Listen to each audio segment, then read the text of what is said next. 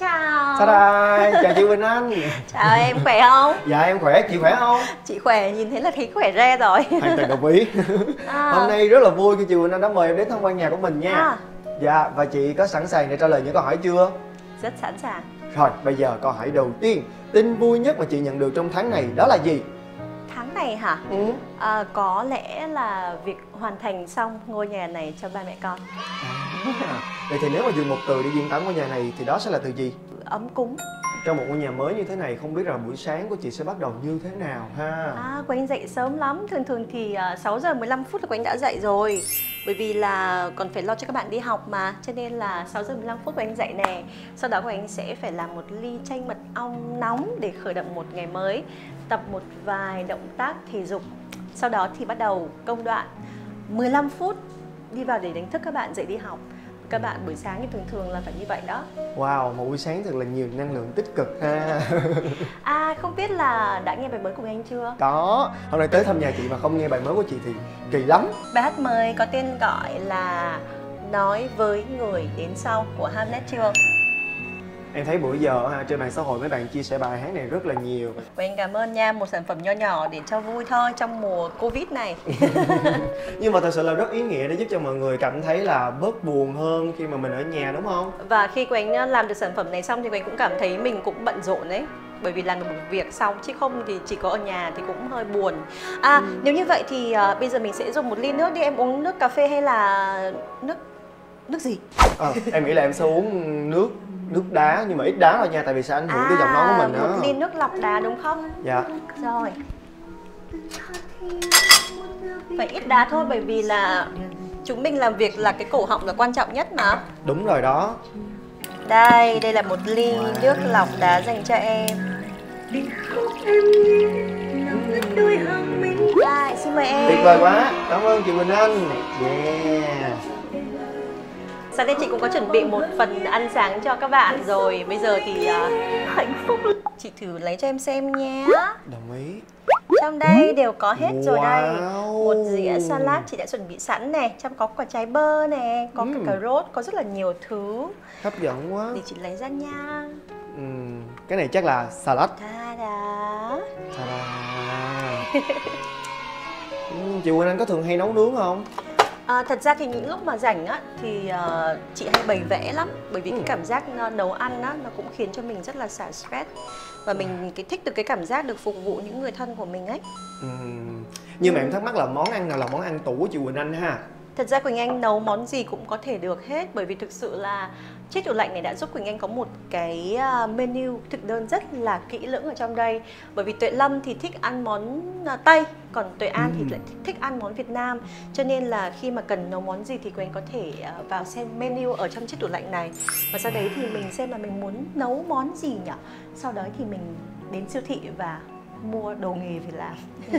nhưng mà tại sao sáng hôm nay lại cho hai bạn nhỏ ăn salad nhờ à bởi vì thực sự là của anh là một cái người theo cái chế độ ăn theo kiểu eat clean á ừ. à, ăn những cái thực phẩm để tốt cho sức khỏe và thậm chí để còn có thể giữ được vóc dáng của mình nữa à. À, rồi thì chắc là chị sẽ phải để lại một cái nốt cho tuệ lâm em đang thắc mắc là món đồ mà ý nghĩa nhất đối với chị trong ngôi nhà này đó là gì phải thú thật là từng món đồ dù là nhỏ xinh nhất trong nhà này của anh cũng cảm thấy rất là ý nghĩa với bản thân mình.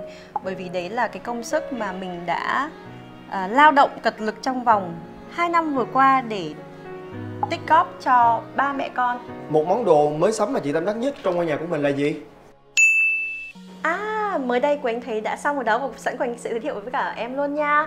Đó là một chiếc máy giặt Edwatch mới tẩu tức thì luôn. Wow.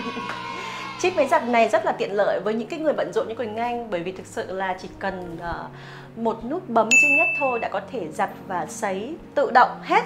Và khi đó thì chiếc máy giặt sẽ tự phân bổ nước này sau đó thì sẽ giặt và sẽ sấy luôn cho mình.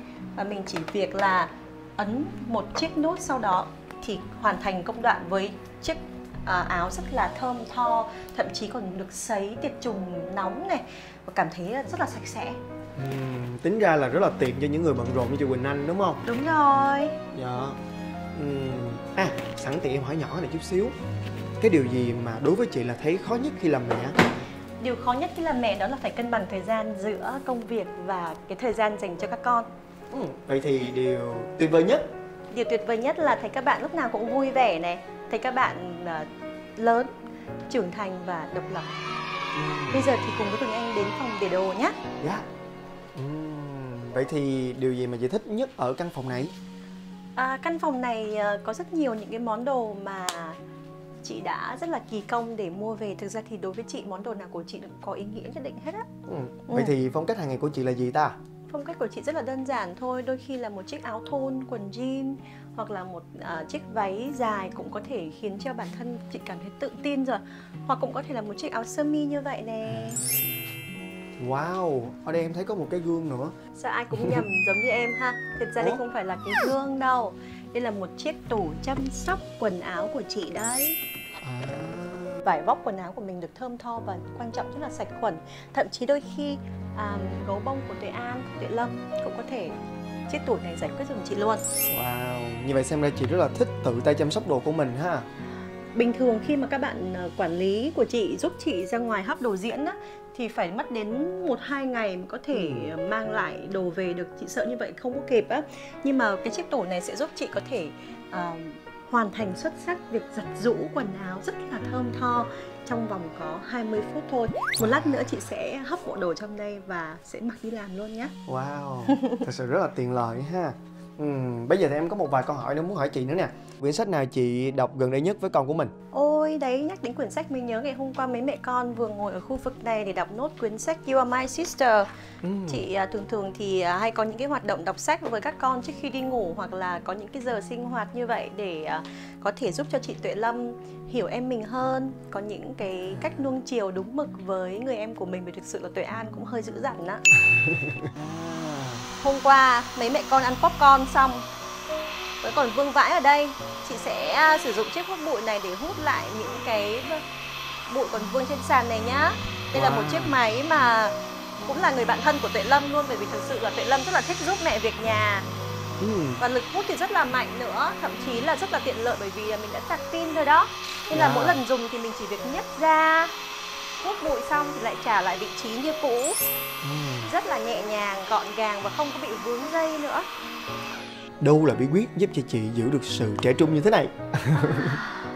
Chị nghĩ rằng quan trọng nhất là ngoài những cái việc mà mình à, phải uống nước hàng ngày này, ít clean, cố gắng đi ngủ sớm. Chị có bí quyết nào để giúp mình có một giấc ngủ sâu không? À, để có một giấc ngủ sâu thì thường thường cái không khí xung quanh căn phòng của mình nó phải thật sự là sạch sẽ. Ừ. Có rất là nhiều những cái bụi mịn mà bản thân mình mắt thường không thể nhìn thấy á. Cho nên là trước khi đi ngủ thì chị sẽ phải vào phòng để à, bật chiếc máy lọc không khí này lên. Ừm, thật là tuyệt vời ấy chà, mong ước lớn nhất của chị bây giờ là gì ta?